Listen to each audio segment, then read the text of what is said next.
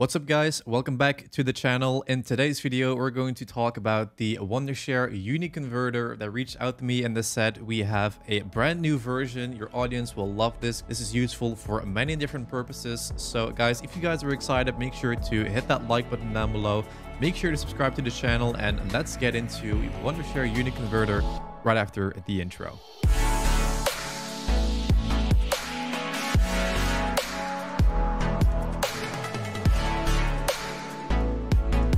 Alright guys, so after this video, obviously click the link down in the description to get a hold of your copy. So once you've done that, you installed it right here. This is pretty much what you will see. So obviously right here, we have the converter option. It says convert video slash audio to and from a thousand formats. We have obviously the downloader. Let's say you need an overlay from a green screen from YouTube, for example. And obviously right here, we have a compressor as well. Let's say that you got a video file that's way too big. You can actually get that file size a lot smaller without losing any quality. So we have a lot of features, as you can tell, packed. We have an editor, we have a screen recorder, a merger, a DVD burner, and even speech to text. But if you click this arrow right here, this will give you a brief overview of what you can obviously do, such as having this player right here as well. We have a GIF maker, intro and outro, so forth. All right, so let's talk a little bit more about the converter. So as you can tell right here, it says convert videos to and from a thousand plus formats. So if we hit this button, we will actually get prompt this menu. Okay, so right here we have obviously the box where we can drag in our video files, which we will get to in about a second. And then at the bottom right here, we have the output format. We have the file location where the converter file will be stored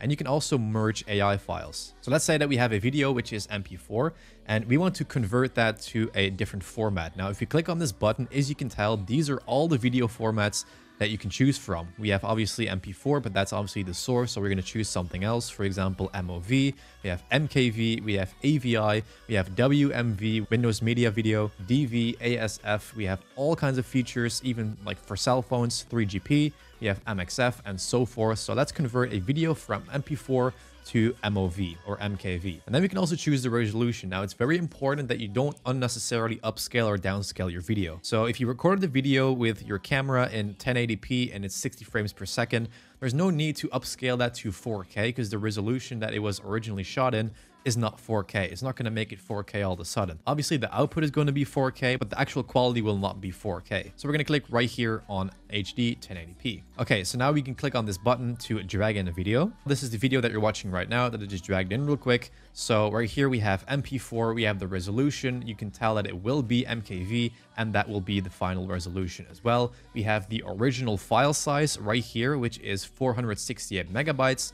It is 8 minutes and 24 seconds long, and this is what it will turn into. That explains the arrow right here. So it will go to 457 megabytes, a little bit smaller, and it still will be 8 minutes and 24 seconds. So you can tell it will be a little bit smaller, but the quality will be the same, which is really, really cool. So right here, we also have a subtitle feature if you want to add in certain subtitles. And right here we have the audio track. Obviously, we want to keep all the audio tracks because there is audio in the video. So right here, if you go to the settings real quick, you can tell what it actually will be. So, so this video was recorded in 1080p. So we need to actually change this to 60 frames per second. So that's what we're going to do right here. For the audio, everything is pretty straightforward. The bitrate though is also 320, the max. So once we have done that, we can keep the sample rate as it is. The level and the profile is going to stay on auto and the bitrate as well. Right here, it's also important that you click on high quality and you can also save this as a preset.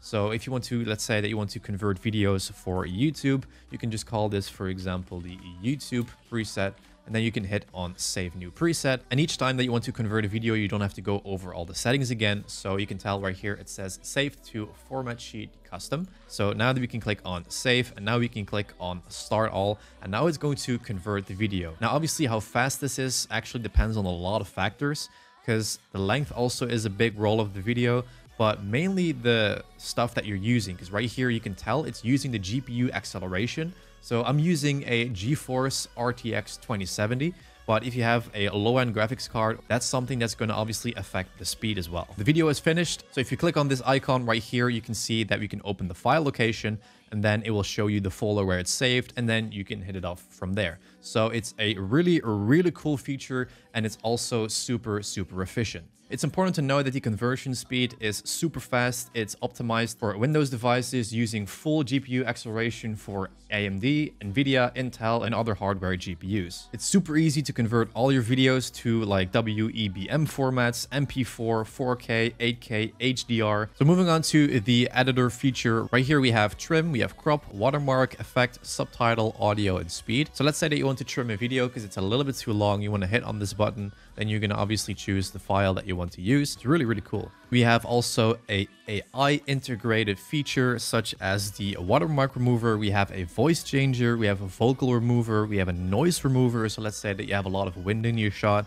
You can just drag in the video and it's going to remove background noise from the video or the audio. We have a watermark editor. We have a smart trimmer. We have subtitle editor. We have a background remover, AI portrait, and a video stabilizer. So as you guys can tell, this program is more than just a, because obviously the title is Uniconverter, but if you think about it, this is actually a lot more than just a converter because you can screen record with this, you can create GIFs with this, intros and outros, you can convert images from JPEG to PNG or otherwise. Alright guys, so there's obviously a lot more. You have the voice changer, you have a auto crop, you have a subtitle editor, but I'm going to leave the rest to you guys. If you guys are impressed by this software, what it can do, and a lot more of the features, make sure to check out the link down in the description. I want to thank Wondershare very much for sponsoring this video, and I'll see you guys, obviously, in the next video.